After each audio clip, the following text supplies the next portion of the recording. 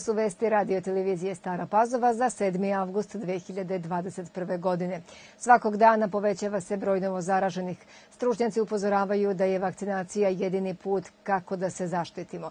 Direktor Kancelarije za e-upravu Mihajlo Jovanović izjavio je da je u Srbiji protiv koronavirusa vakcinisano 50,2 od 100 punoletnih građana. Naveo je da je u pojedinim beogradskim opštinama vakcinisano više od 75 od 100 stanovnika, ali da još ima lokalnih samouprava u kojima je vakcinu primilo manje od 30 od 100 građana.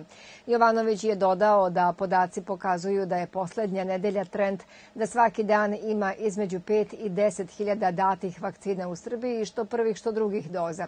Epidemiolog i član kriznog štaba Branislav Tijodorović je rekao danas da smatra da se neće uvoditi obavezna vakcinacija dece, već da će to ostati kao preporučena mera. Do sada je u Staropazovačkoj opštini prvom dozom vakcine protiv koronavirusa obuhvaćeno preko 40% punoletnih građana, a obe doze je primilo oko 40% punoletnog stanovništva. Na vakcinu se čeka par dana nakon prijave, ali mogu da dođu i oni koji se nisu prijavili preko e-uprave. Dostupna su cepiva Pfizer, BioNTech i Sinopharm. Dnevno bude na punktu za imunizaciju u preventivnom centru u Staroj Pazovi do 40 pacijenata, a isto toliko njih njih se javi i na pregled u COVID ambulantu. Turistička organizacija opštine Pećinci pod pokroviteljstvom Pećinačke lokalne samouprave i uz tehničku podršku Kulturnog centra Pećinci organizovala je danas 11. regatu majke Angeline u Kupinovu. Dan je bio prijatan, Sava mirna, tako da su uslovi za plovidbu bili idealni. Ocenjuju učesnici 11. regate majka Angeline u Kupinovu, uglavnom mlađi zaljubljenici u vodu, a meštani se ponose ovom turističkom manifestacijom. Kod mene ima trenutno sedam mladih, tu su i neke goste sam doveo iz Putina, Carume, Indije i tako da pokušavamo da proširimo ovo što više, što više moguće. Kuriozitet ovogodišnjeg događaja je bilo preklapanje dve manifestacije, održavanje regate i završetak likovne kolonije, čiji su se učesnici takođe pridružili učesnicima regate. Pred sam start molitvu za dobru plovidbu je očitao vladika Sremski, gospodin Vasilije. Meni je posebno čast da danas ja po prvi put učestvujem posle toliko godina boravka u Sremu, a da se nađem danas ovde zajedno sa vama posebno mi je drago, neka sretno i Bogom blagosloveno.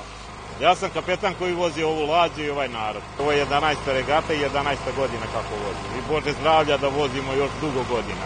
12 učesnika, utisci su izvanredni i ovo stvarno, ovaj finiš sada što ćemo da doživimo sa ovom regatom, to je meni prvi put, ja mislim i njima.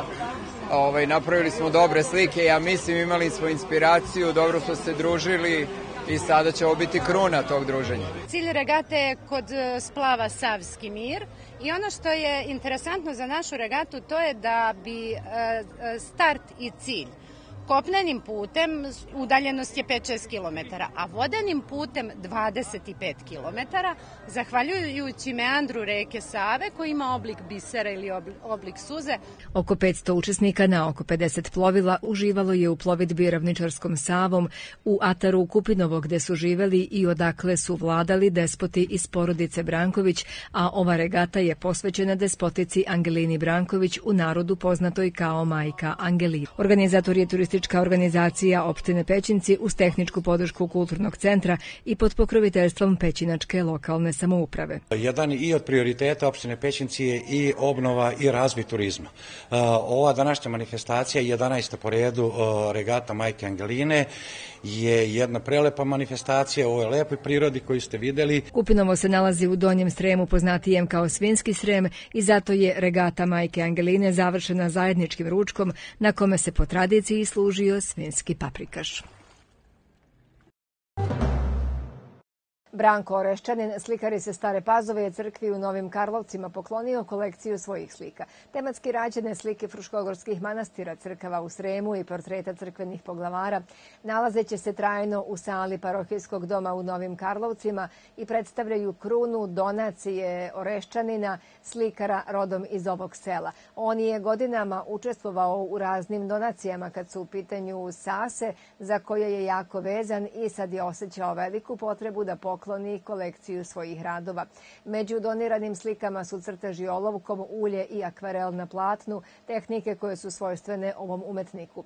Tačno je 29 slika, a uskoro će biti i 30, jer Orešćanin planira da uradi ikonu Svetog Marka, pošto je to njegova krsna i slava sela, a nalazit će se u samom hramu Sretenja gospodnjeg u Novim Karlovcima.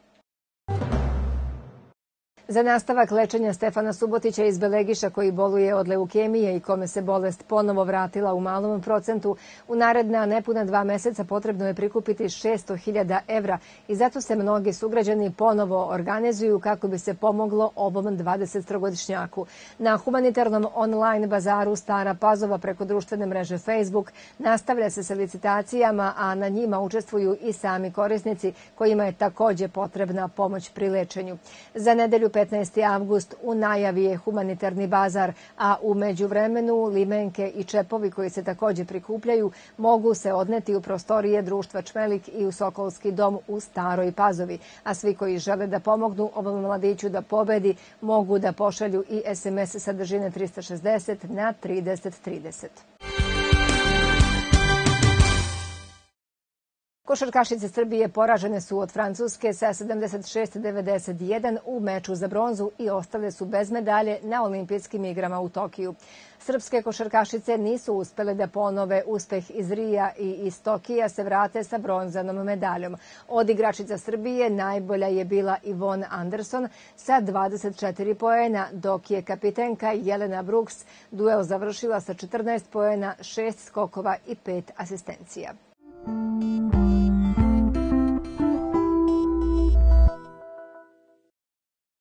Sutra sunčano i veoma toplo, vetar slab i umerene, južni i jugoistočni, najniža temperatura od 13 do 22, a najviša od 34 do 37 stepeni Celzijusa.